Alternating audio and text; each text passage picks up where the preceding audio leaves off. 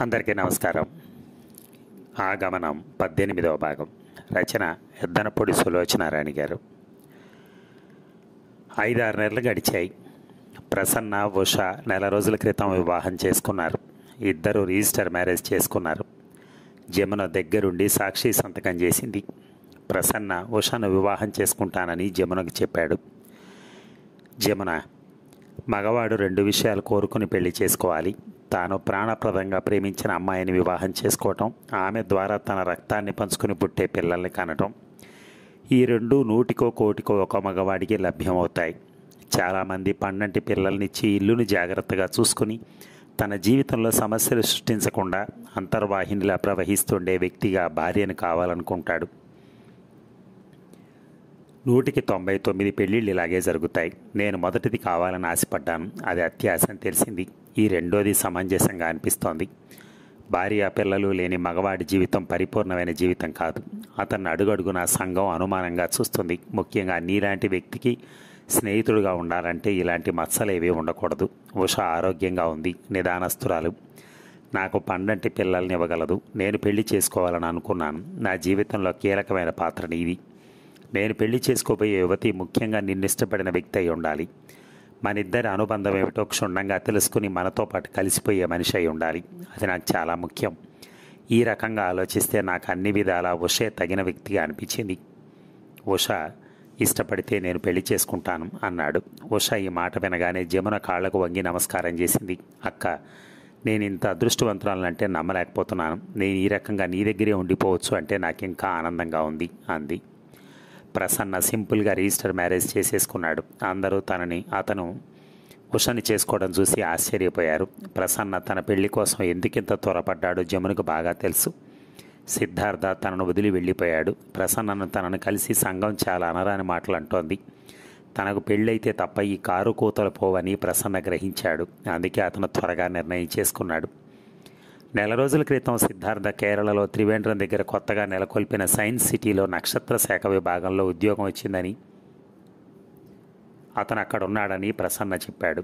జమున అక్కడికి వెళ్దాం పద అన్నాడు ప్రసన్న. ఎందుకు? ఎందుకేమిటి? సిద్ధార్థని ఇంటికి తీసుకొద్దాం. జమున పెదవుల మీద విరక్తి నిండిన చిరునవ్వు మెదిలింది. నీకేమైనా పిచ్చా ప్రసన్న? అతను కావాలని కోరుకుని ఇక్కడ నాతో సుఖం లేదని నిర్ణయించుకుని నాను దూరం నుంచి దూరంగా వెళ్ళిపోతే నేను అతను వెంట పడతానా? నువ్వు నన్ను ఏమని అనుకుంటున్నావు అంది.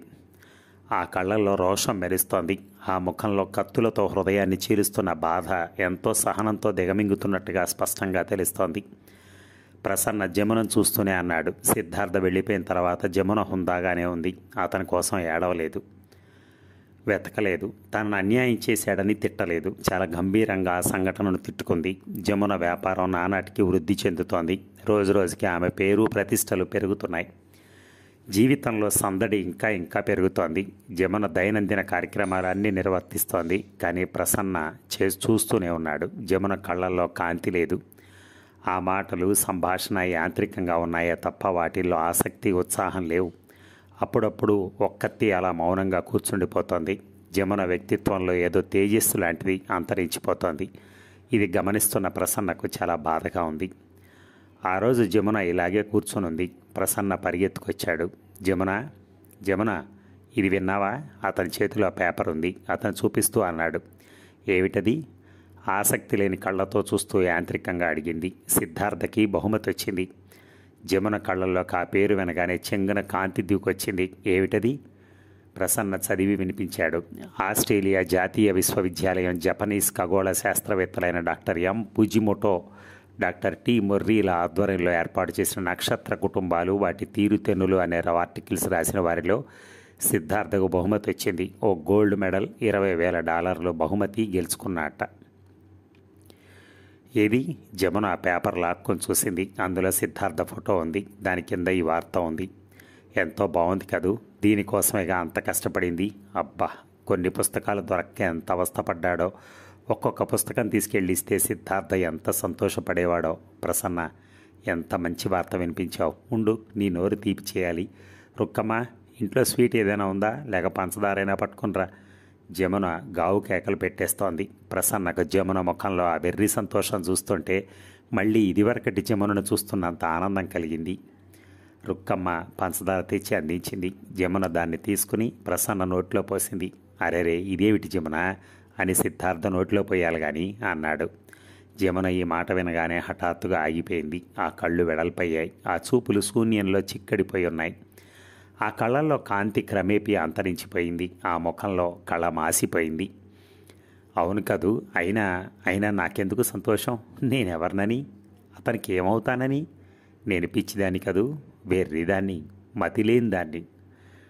జమున ప్రసన్న దగ్గరికి వచ్చాడు జమున అతని వైపు తిరిగింది. వెంటనే అతను భుజం మెత్తల ఆనించి ఏడ్చేసింది జమున ఏమిటిది? ప్రసన్న చిన్నపిల్లను సముదాయించినట్టుగా సముదాయించాడు. ఈ క్షణం ఎంత ఆనందంగా ఉండాల్సింది? ఎలా ఉన్నాను? జమున వెక్కిళ్ళ మధ్య అంది. నీకు తెలియదు ప్రసన్న నా గుండెలు ఎంత రంపపకోత కోస్తున్నాయో. సిద్ధార్థ నన్ను వదిలేసి వెళ్ళటం నేను భరించలేకపోతున్నాను. అది నాకు నిరాశగా కంటే తీరన అవమానంగా ఉంది. అతను కొంచెం కూడా నా గురించి ఆలోచించలేదు అంటూ ఏడ్చేసింది. ప్రసన్నకు గొంతులో ఏదో అడ్డుపడ్డట్టే అయింది. అతనికి కాకపోతే జమున పడుతున్న మానవవ్యాధ ఇంకెవరికి తెలుస్తుంది? అతను ఆ విషయంలో ఏమీ చేయలేకపోతున్నాడు. వారిద్దరూ భార్యాభర్తలు. ఇది వారిద్దరికి సంబంధించిన విషయం. జమునకి ఎంత ప్రాణ స్నేహితుడైనా ఈ విషయంలో మాత్రం కల్పించుకోలేడు. అతని ఆసక్తిత అతనికే బాధ కలిగిస్తోంది. దీనికి మార్గం లేదా అనిపిస్తోంది. సిద్ధార్థ చాలా సెన్సిటివ్. ఖగోళ శాస్త్ర అధ్యయనంలో అతను ఎంత చతురుడో మిగతా విషయాల్లో అంత మొండి. అతను దూరంగా ఉండటమే జమునకు మేలు జరగటం అనుకుని నమ్మాడు. అది చేశాడు. నెల రోజుల తర్వాత జమునకు పోస్ట్లో ఒక ఇన్షూర్డ్ కవర్ వచ్చింది. అది సిద్ధు అర్థ దగ్గర నుంచి వచ్చింది. దాన్ని చూడగానే జమున కళ్ళల్లో కోటి నక్షత్రాలు. సంతకం తీసుకుంటే గుండెలు సంతోషంతో సంతకం చేసి తీసుకుంటూ ఉంటే గుండెలు సంతోషంతో గొబగొబలాడాయి. కవర్ తీసి చూసింది. అందులో గోల్డ్ మెడల్ ఉంది. ఇరవై వేల డాలర్ చెక్ ఉంది. దానికి ఒక ఉత్తరం పించేసి ఉంది. అందులో ఇలా ఉంది. జమున నేను జైల్లో ఉండగా రాసిన ఆర్టికల్కి ఆస్ట్రేలియా ప్రభుత్వం ఇవి బహుమతిగా ఇచ్చింది. ఇవి నాకంటే నీకే చెందుతాయి. వీటి శ్రమ నీదే. వీటిని అందుకునే అధికారం నీకే ఉంది. అందుకే నీకే పంపిస్తున్నాను. జమున నీకు నా అభినందనలు. నువ్వు పడిన శ్రమకి ఫలితం దక్కింది. ఇట్లు సిద్ధార్థ. ఇంతలో ప్రసన్న అక్కడికి వచ్చాడు ఏమిటి జమున అవి? అన్నాడు. జమున వాటిని చూపిస్తూ చూసావా సిద్ధార్థ పంపాడు. ఇవి నావెట. నాకే చెందుతాయట. నా శ్రమకు ఫలితమట. నన్ను అభినందిస్తున్నాడు. అంటే నేను పడిన శ్రమకి తను విలువ కట్టి తేల్చేశాడన్నమాట. చేతులు దులిపేసుకున్నాడన్నమాట. అలా ఎందుకు అనుకుంటావు? ప్రసన్న ఏదో అనబోయాడు. ప్రసన్న ఇక మాట్లాడకు. నాకేం గుర్తొస్తుందో తెలుసా? నా చిన్నప్పుడు పగలంతా చాకరీ చేయించుకుని ఒక పని మనిషికి సాయంత్రం అవగానే రెండు రూపాయల మొఖాన పడేసి పో అనేవాడు మా మామయ్య. నాకు ఆ పని మనిషే గుర్తుకొస్తోంది. నేను సిద్ధార్థ కళ్ళకి పని మనిషి లాగానే ఉన్నాను. చిచి ఏమిటా ఆలోచనలు అని ప్రసన్న కసిరాడు.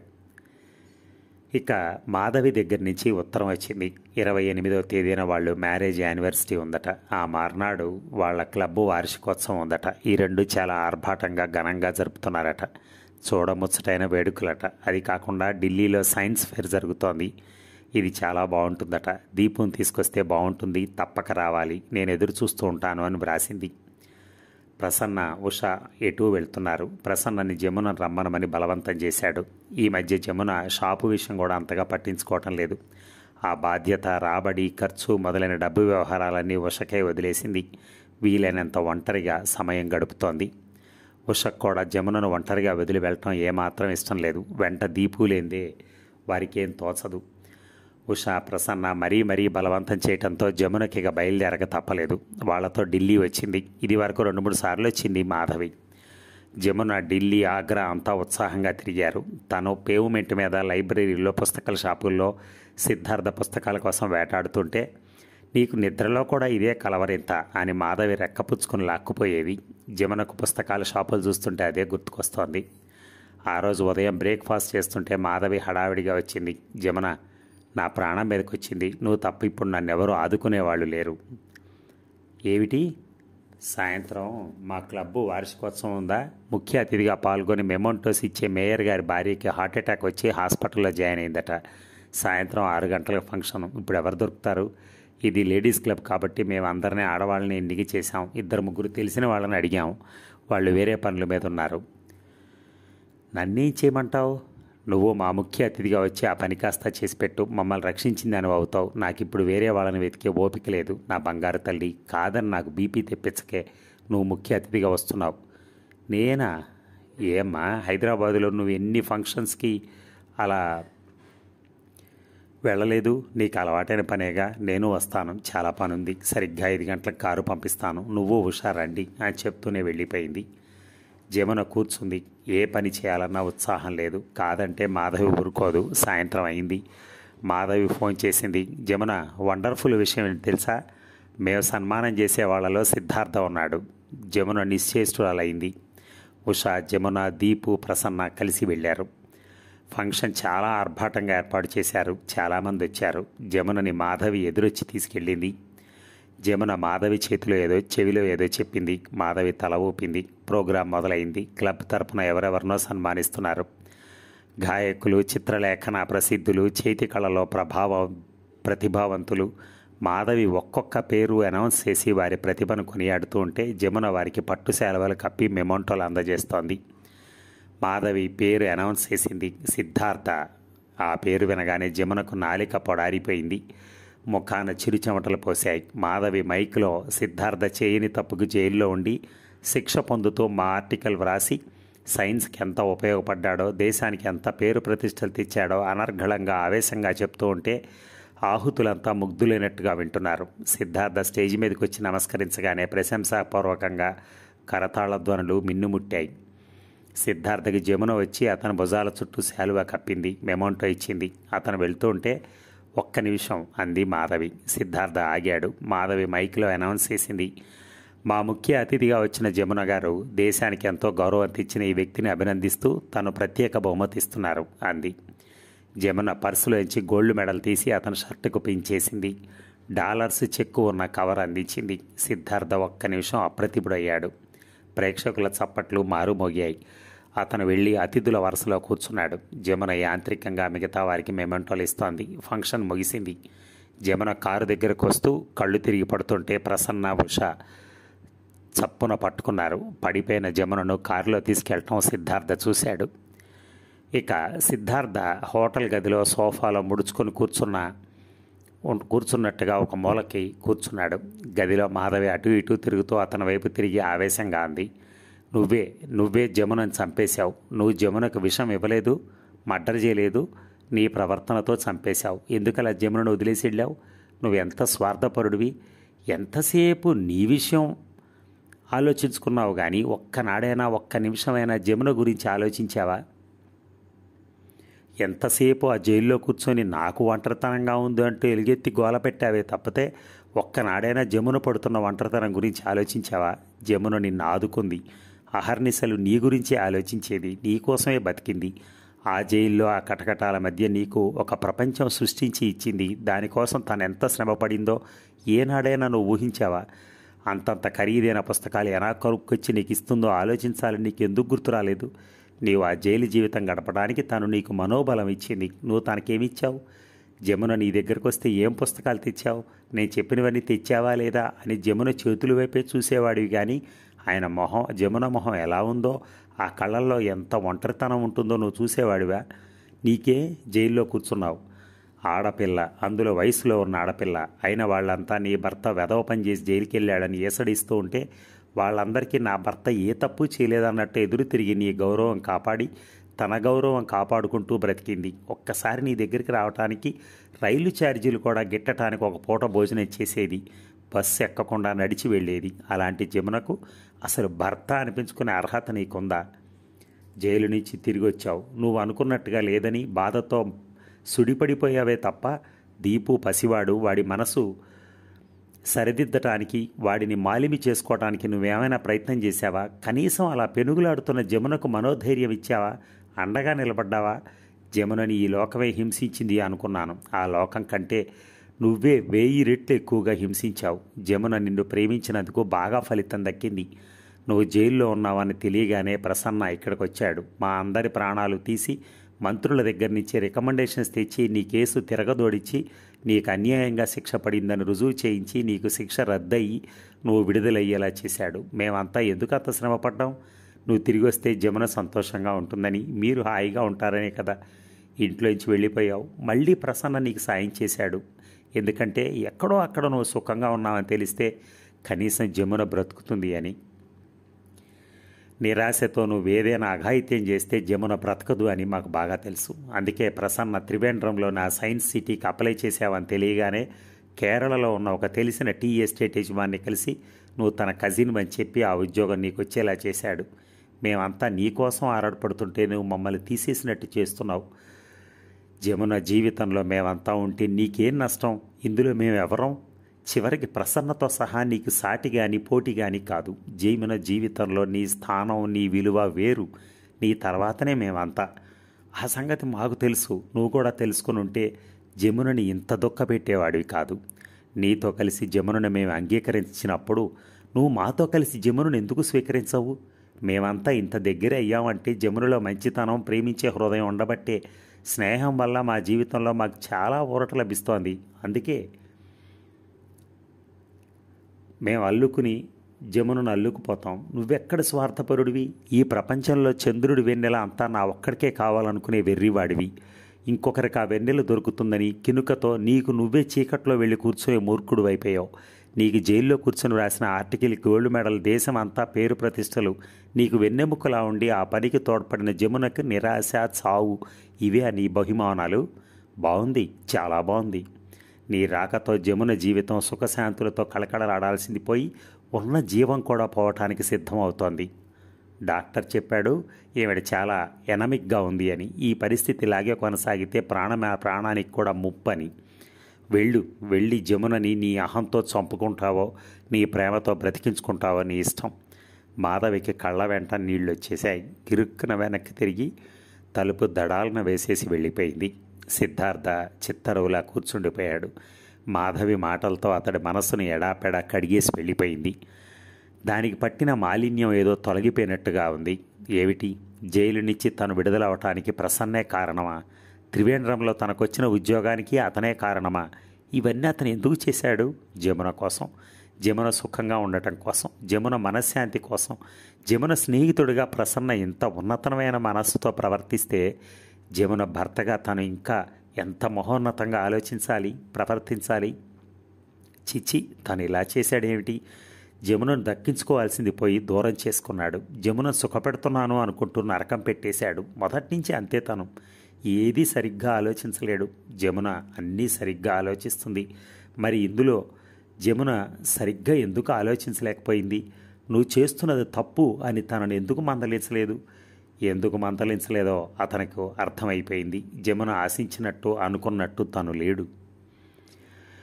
ఇక హాస్పిటల్లో జమున మంచం మీద పడుకునుంది. ఆ ముఖం రక్తవిహీనంగా పాలిపోయినట్టుగా ఉంది. ఆ కళ్ళల్లో ఆశ నిరాశలు రాగద్వేషాలు ఏమీ లేవు. చాలా నిర్లిప్తంగా ఈ లోకంలో తనకేదీ పట్టనట్టుగా దేనికి తను చెందనట్టుగా ఉంది. నర్సు వచ్చింది అమ్మ మిమ్మల్ని కలవడానికి ఎవరో వచ్చారు అంది. మాధవి ఫ్రెండ్స్ ప్రసన్న ద్వారా తెలిసిన చాలామంది చూడటానికి వస్తున్నారు.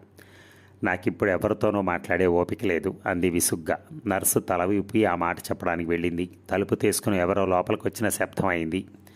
జమున కళ్ళు తెరిచి చూసింది. ఎదురుగా గుమ్మంలో సిద్ధార్థ నిలబడున్నాడు. అతని చేతిలో పొడగాటి పెద్ద పూల గుత్తి ఉంది. జమున తన కళ్ళంతా నమ్మలేకపోయింది. జమున అతని పిలుపు ఆర్తిగా ఉంది.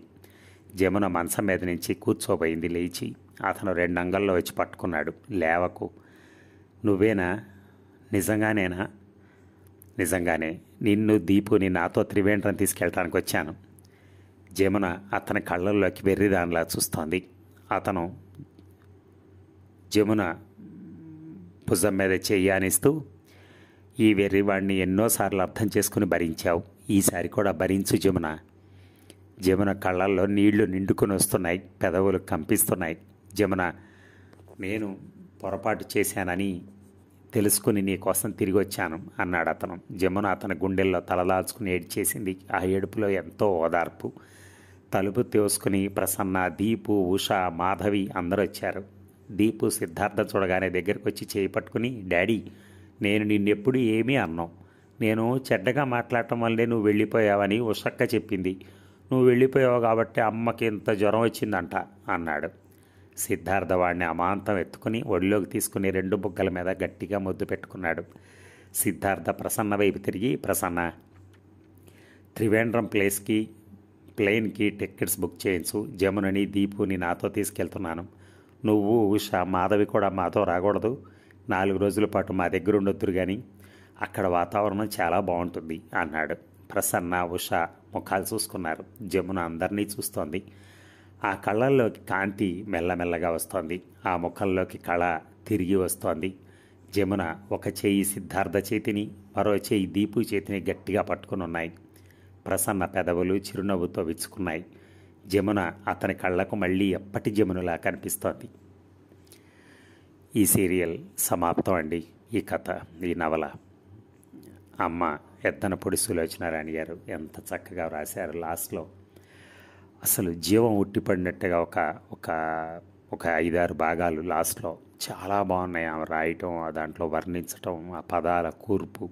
అలాగే ఇక్కడ కూడా ప్రసన్న ఆ జమునల మధ్య ఉన్నటువంటి మిత్రుత్వం నాకు ఎంతో నచ్చింది యాక్చువల్గా. ఎందుకంటే లాస్ట్లో కూడా ప్రసన్న పెదవులు చిరునవ్వుతో విచ్చుకున్నాయి. జమున అతని కళ్ళకు మళ్ళీ ఎప్పటి జమునలా కనిపిస్తోంది ఆమె ఫస్ట్లో చూసిన జమునలాగా ఉండాలని అతని ప్రయత్నం అతను ఎంత కష్టపడ్డాడు. నిజంగా అంత మిత్రుత్వం గొప్పది. ఎందుకంటే ఇక్కడ ఈ ఈ టైంలో మనకి ఇప్పుడున్న పరిస్థితుల్లో అసలు అలాంటి వాళ్ళు ఉన్నారా అని అంటే అతి కష్టమేమో. ఎందుకంటే అన్నదమ్ముల మధ్య గొడవలు అవుతున్నాయి ఇప్పుడు. నాన్న తండ్రి కొడుకుల మధ్య గొడవలు అవుతున్నాయి అత్త కోడళ్ళ మధ్య గొడవలు అవుతున్నాయి కో ఇలా రకరకాల గొడవలు ఇళ్ళలోనే గొడవలు అవుతున్నాయి. వీళ్ళు ఎవరో కూడా తెలియకుండా వాళ్ళు మిత్రుత్వంగా ఎన్ని పనులు చేశాడు ఆయన ప్రసన్న. అలాగే అతని భర్తను కూడా ఆమె భర్తను కూడా కాపాడాడు. ఆమె భర్తని జైలు నుంచి తీసుకొచ్చాడు. నిజంగా అలాంటి ఫ్రెండ్ దొరికితే ప్రతి వాడి జీవితం కూడా ఎంతో కొంత రంగులమయంగానే ఉంటుంది. ఇంద్రధనస్సులాగా. కానీ అందరికీ అలాంటి మిత్రులు దొరకరు. భగవంతుడు అనుగ్రహం ఉండాలి దానికి కూడా. కానీ నాకైతే ఈ ఈ వాళ్ళ చదివినటువంటి ఐదారు భాగాలు నాకు చాలా నచ్చాయి యాక్చువల్గా. ఆమె నేను ఫస్ట్లో ఆ కథ చదువుతున్నప్పుడు వింటున్నప్పుడు కానీ ఇద్దరు పొడి సులోచన గారు ఇలా రాశారేంటి ఇలా రాశారేంటి అని అనుకుంటూ వచ్చాను ఫస్ట్లో. కానీ చాలా డెప్త్గా వెళ్ళిన తర్వాత ఆ అంత స్టోరీ ఉంటుందని నేను ఎక్స్పెక్ట్ చేయాలి. ఎండింగ్కి వచ్చేసరికి అలాగ ఉంది ఏదేమైనా మీ అందరి సపోర్ట్కి నేను నా కృతజ్ఞతలు తెలియజేస్తున్నాను. Thank you very much. ధన్యవాదాలు.